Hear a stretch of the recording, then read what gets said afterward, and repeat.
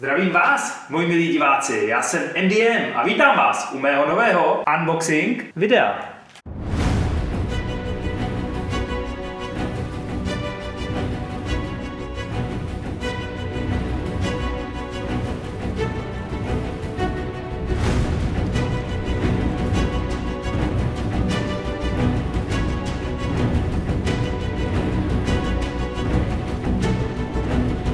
Něco tady mám.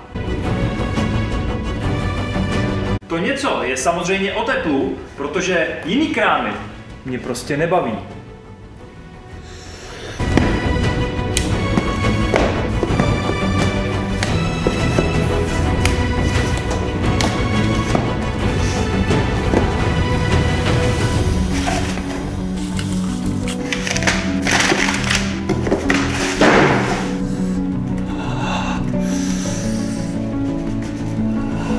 Tak, mám tady od Apple iPad Pro, velikost 9,7 palce, je to 128 GB, je to vlastně ten nejnovější, no a už se na něj moc těším. Tak, tabletu jsem si objednal rovnou ochranný obal.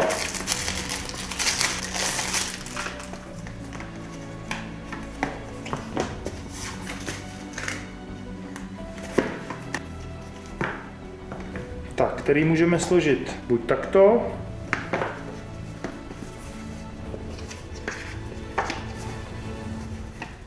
anebo takto.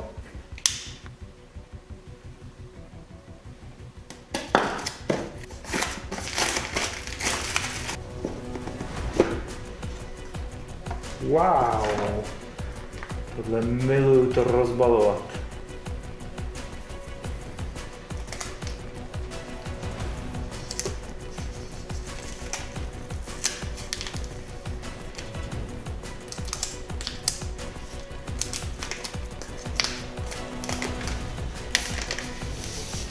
Paráda, tablet je nádherný, je v černém provedení a vzadu je vesmírná šeť.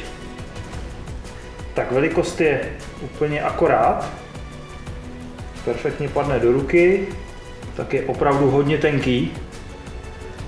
Tak miluju hračky od Apple, protože jsou perfektně zpracované, perfektně fungují, no a dokonale zabalené. Tak v krabici najdeme nabíječku. Nic víc tam nehledejte. Tak zkusíme si tablet zacvaknout do obalu. Tak obal je taky ve vesmírné šedi, takže tabletu perfektně ladí.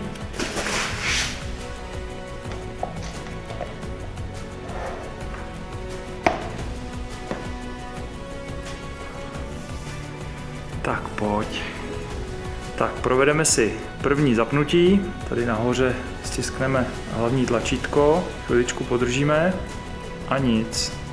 Tak ještě jednou. A nic. Krám jeden. Tak, tento desetipalcový iPad Pro nabízí nejvíc funkcí ze všech iPadů, co Apple nabízí.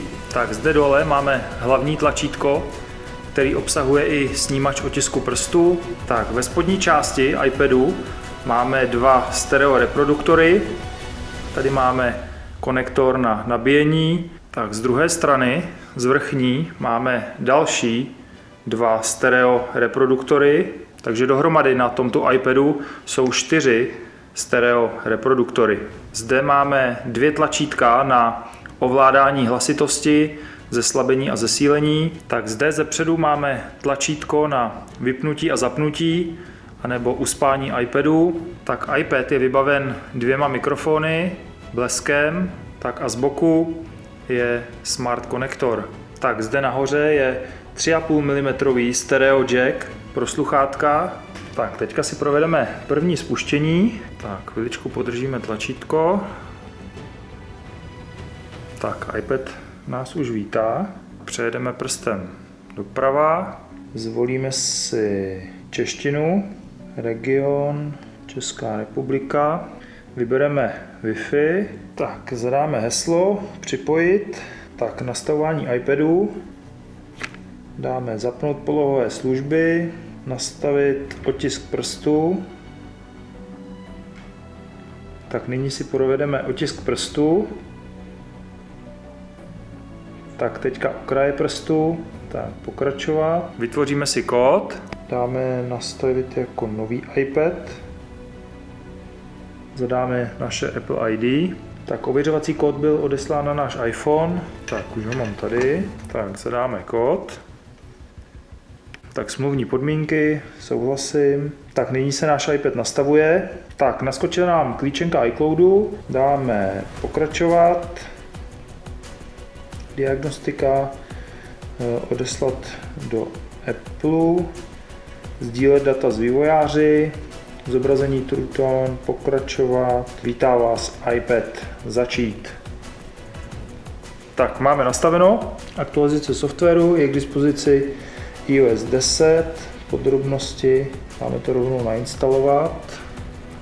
Tak, stáhneme si nejnovější aktualizaci. Aktualizace je dokončená, dáme pokračovat. Tak chviličku počkáme, probíhá aktualizace nastavení. Tak, vítá vás iPad, začít, máme hotovo, máme nastaveno. Tak iPad mi absolutně vyhovuje, co se týče velikosti, perfektně padne do ruky. O designu se nebudeme bavit, to je prostě nádhera. Tak pokud také vybíráte nějaký tablet od Apple a chtěli byste s označením Pro, tak máte na výběr vlastně ze dvou možností a to je 10 palcový, což je tenhle ten, a nebo je potom 13-palcový, ten je větší, tak já jsem zvolil tento 10-palcový z jednoho prostého důvodu, protože 13-palcový je na mě moc veliký, tak pokud teďka srovnám nabídku všech iPadů od Apple, tak tento iPad Pro 10-palcový je, co se týče funkcí, úplně nejvíc nabitější. No má prostě nejvíc funkcí.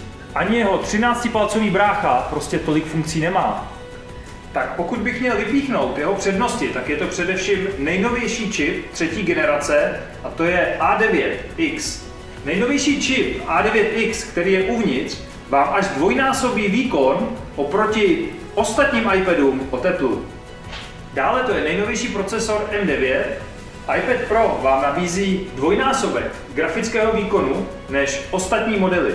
No a to je jedna z těch věcí, proč jsem právě tento iPad chtěl, protože je výkonnější a rychlejší. Tak v zadní části tohoto iPadu najdete 12 megapixelový fotoaparát, který vám umožňuje zachytit video i ve 4K kvalitě. Tak v přední části tohoto iPadu je 5 megapixelový fotoaparát. Má nejrychlejší bezdrátové připojení. Má neuvěřitelný výkon a skvěle se ovládá. Má 4 reproduktorový zvuk, má o 25% větší saturaci barev než předchozí modely iPadů. Má špičkový Retina display.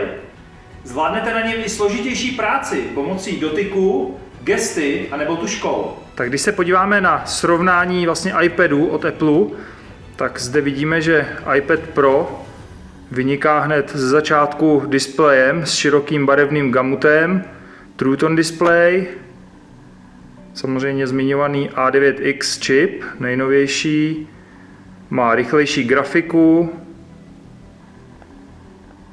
tak zde má Live Photo, navíc Truton blesk, fotky s širokým barevným rozsahem navíc. Tady máme automatické zaostřování technologií Focus Pixel, zaostřováním klepnutím s technikou Focus Pixel,